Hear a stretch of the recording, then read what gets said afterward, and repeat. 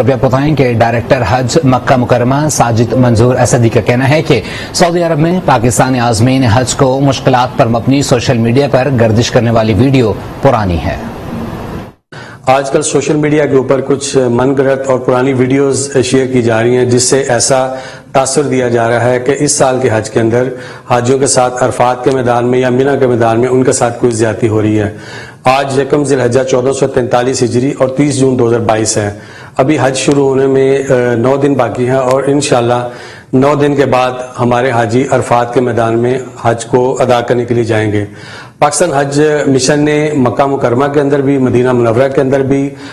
खाने के, ट्रांसपोर्ट के और उसके बाद रहायश के अला इंतज़ाम किए हैं, जिसके हाजी साहबान भी मुतरफ हैं। इन जो मुशायर के मैदान में, हज के दिनों में भी कोविड के लिहाज से सऊदी हुकूमत ने और उसके बाद पाकिस्तान हज मिशन ने भी उनका साथ देते हुए आ, उन असूलों के और उन प्रोटोकॉल्स के तहत इंतज़ाम किए हैं जिसके तहत हाजी के लिए भी आसानी होगी और इन इस साल का हज वो पुराने सालों से हज के अंदर उससे भी अच्छी